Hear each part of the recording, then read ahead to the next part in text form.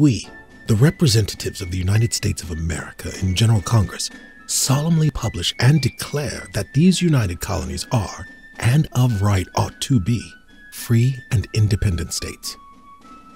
The colonies declared independence in 1776 and prepared for war.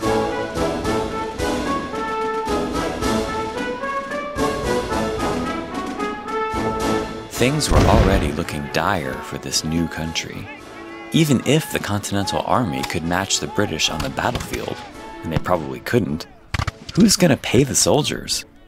Congress was not empowered to levy taxes. They could ask for the states to pay their share of the war effort, but there were no consequences when they didn't. Borrowing the money was also more or less impossible. Because who would loan America money? They were up against the most powerful nation on earth at that time, and if they lost, there's no money back guarantee.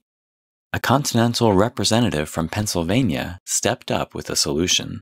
We could print our own money just like we always have. That was Benjamin Franklin, but everyone was thinking it, and no one had any better ideas. So Franklin gave the contract for printing the new continental currency to his business partners in the Pennsylvania Gazette, David Hall and William Sellers. Continental currency isn't usually praised in the history books. No criticism has been too severe. Justifying the use of continentals is subversive of social progress. But even looking at it in hindsight, knowing the inflation that was about to hit the now United States, I can't tell you I think printing continental currency was a mistake. If you disagree, let me know in the comments what you think the Continental Congress should have done here. The British set up a partial blockade in 1775 and doubled down on it in 1776, cutting off American trade with the rest of the world. At the same time, many farmers were being sent to fight in the Continental Army, so they weren't tending their fields. That means the productivity of the colonies, at least for non military goods, was falling at this time. But the printing press in Philadelphia was just getting warmed up. In 1775, they printed $6 million worth of continental currency, and prices were stable. In 1776, they printed 19 million, and inflation was starting to take off. Prices doubled, which is to say that the Continental was already down to half value. In 77, they printed 13 million, while the value kept falling. In 78, when Washington was wintering at Valley Forge, the presses were running full speed. They printed $63 million by the end of that year.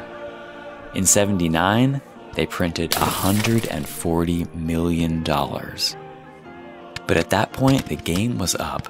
They couldn't run the presses fast enough to stay ahead of the inflation. By the end of the year, each dollar only got you 5 cents. But it hadn't reached bottom yet. By the mid 1780s, that's after the war was over, a dollar of Continentals went for about 2 cents in hard currency. If something wasn't worth a Continental, it wasn't worth very much at this stage. At the very end, in the 1790s, the unfortunate souls still holding on to these things could at least exchange them for new US Treasury bonds at 1 100th their face value. And then they were finally removed from circulation. Through all of this, the states were printing their own currency again as well. I mean, why not? Remember, this was at least part of the reason why they went to war in the first place for control over their money and a say in how they were taxed. But it wasn't exactly helpful to the revolutionary cause. They added about $200 million to the giant pile of worthless bills. And they were refusing to pay taxes through all of this, of course. How patriotic. America was in complete financial collapse by the victory at Yorktown. I'm definitely not saying that the financing of the war was handled well, but given the stubbornness of the states and the general chaos of the time, it may have been the only thing they could have done. As Franklin later wrote to a friend Congress is, as you'd suppose, not well skilled in finance. But without taxes, they fought and buffeted one of the most powerful nations of Europe. Continental currency served America, if not well, at least adequately, when there was no other choice. These bills should be celebrated, or at least historians shouldn't talk trash about them. However, the worthless money did cause some pain. It ruined some fortunes and some lives of people who did nothing wrong.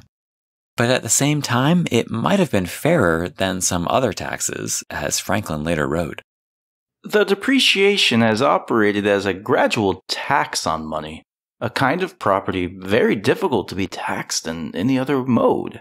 And it has fallen more equally than many other taxes, as those people paid most who, being richest, had most money passing through their hands. There's always sacrifice in war. The soldiers certainly sacrificed, putting their lives on the line. They often either went without pay or were paid in worthless Continentals or IOUs themselves. At times, the Continental Army was on the verge of mutiny over lack of pay and lack of support. Some soldiers even wanted Washington to use the army to crown himself king to put an end to this madness. At least that way, they'd know they'd be paid. So, by the end of 1782, the war was just about over, but Americans found themselves in terrible financial shape. Their currency was worthless, and they were in debt to France or to anyone else who would loan them money.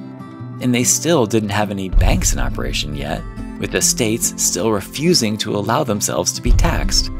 This is when Robert Morris stepped up to try and fix things.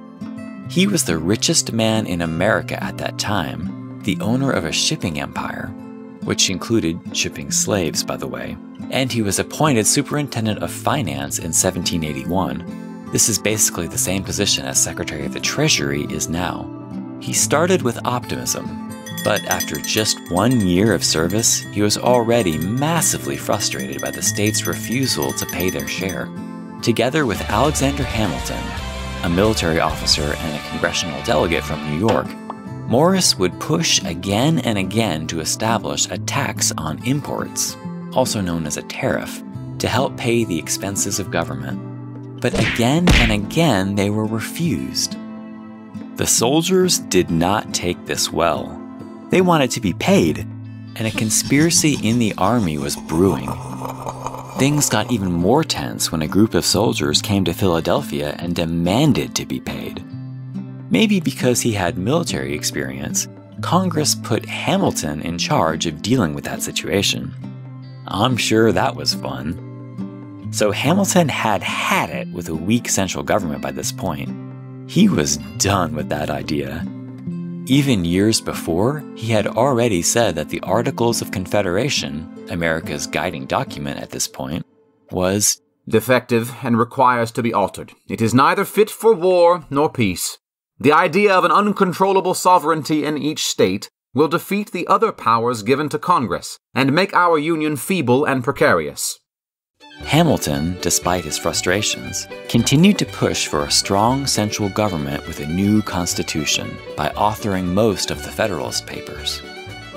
Robert Morris, on the other hand, was just like, see ya, and in 1784, after the tariff failed in Congress for like the third time, he resigned as superintendent of finance and went back to his business empire. But America kept moving forward. Guided by Hamilton, we're now entering the Federalist era. We're about to see the first bank established on North American soil. It was the Bank of North America, established by Robert Morris. However, it failed to act as the truly national bank that Morris was hoping. It was Hamilton's bank, the Bank of the United States, that was the big one. Still, it wouldn't be easy to centralize America's finances to give our young country the boost it desperately needed. The Constitution, even though it was a step in Hamilton's direction, was itself a huge compromise with advocates of state sovereignty. So, after all he's been through the war with Britain, the fight with the states to fund the war with Britain, and the battle to bring the Union together under the Constitution would Hamilton's plans for a new financial union end up being stopped in their tracks? Would they be ruled unconstitutional?